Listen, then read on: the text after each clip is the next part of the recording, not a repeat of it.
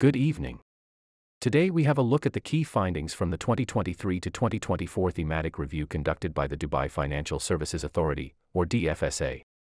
This review focuses on firm disclosures and their compliance with financial promotions rules.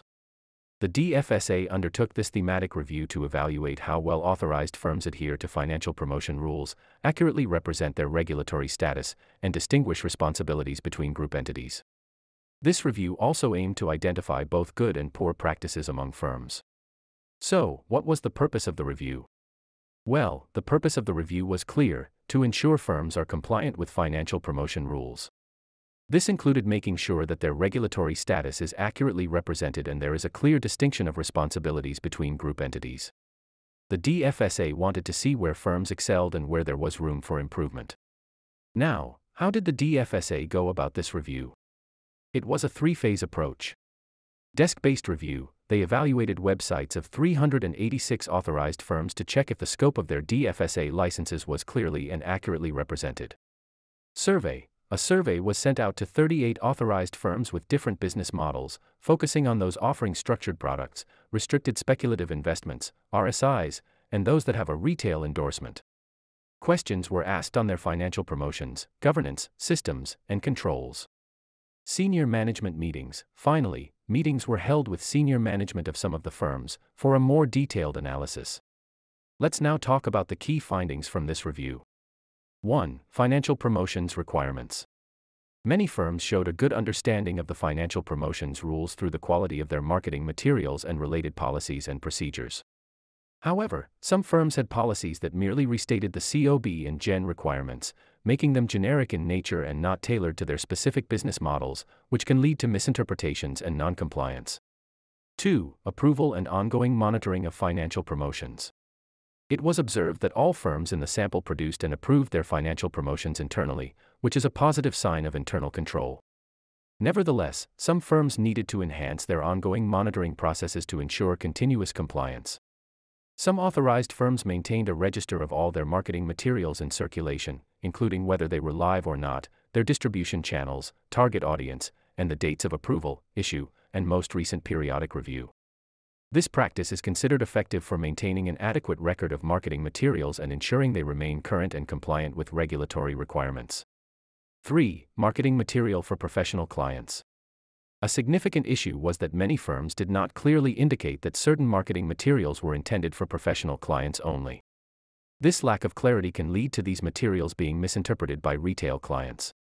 One possible way to comply is to have a disclaimer on the website that states that the information is addressed to professional clients only and or is provided only for the use of professional clients or market counterparties and cannot be relied upon by retail clients.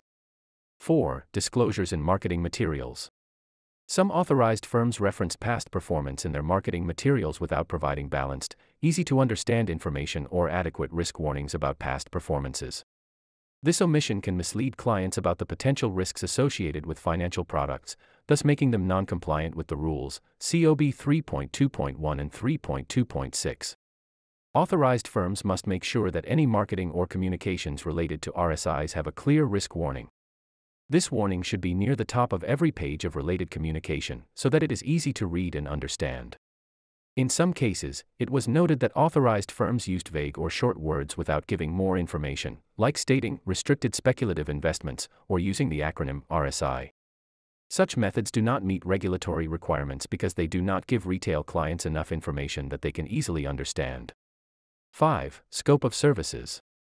A major finding was that many authorized firms did not clearly distinguish between the services offered by the DIFC entity and those of their group entities on their websites, and there was no clear indication that the group had a presence in the DIFC, nor was there a mention of the authorized firm's name, address, and regulatory status. Additionally, some firms misrepresented the scope of their DFSA license, which could mislead clients about the firm's capabilities and regulatory oversight. The DFSA mandates clear differentiation between DIFC and group entities, specifying services, jurisdictions covered, and client types targeted. Good practices observed include separate entity pages, specific DIFC entity websites, and clear service listings by location and client type. 6. Disclosure of regulatory status and contact details. Surprisingly, some authorized firms failed to include their regulatory status or contact details as required. This is a fundamental requirement to ensure transparency and regulatory compliance. Thus, authorized firms should ensure that their regulatory status is disclosed in all marketing materials communicated to clients or potential clients. 7. Use of DFSA's logo. A few authorized firms use the DFSA's logo without permission, which is a clear violation of the DFSA's rules. Unauthorized use of the logo can mislead clients about the level of endorsement or oversight by the DFSA. Firms should ensure that they obtain express written permission from the DFSA prior to the use of the logo. So, what does the DFSA expect from authorized firms moving forward? Firms are expected to review and enhance their marketing materials, policies, procedures, systems, and controls to ensure full compliance with DFSA rules. They should also document any actions taken and be prepared to provide evidence of these actions during future DFSA engagements. In conclusion, the DFSA's thematic review has highlighted some critical areas where firms need to step up their game. Compliance isn't just about ticking boxes, it's about maintaining transparency, ensuring accuracy, and protecting client interests. Authorized firms must continuously ensure their communications are clear, fair, and non misleading, and that they accurately represent their regulatory status and provide appropriate disclosures. That's all for today's episode. I hope you found this breakdown of the DFSA's 2023 to 2024 thematic review insightful. Stay tuned for more updates and in depth analyses in our upcoming episodes.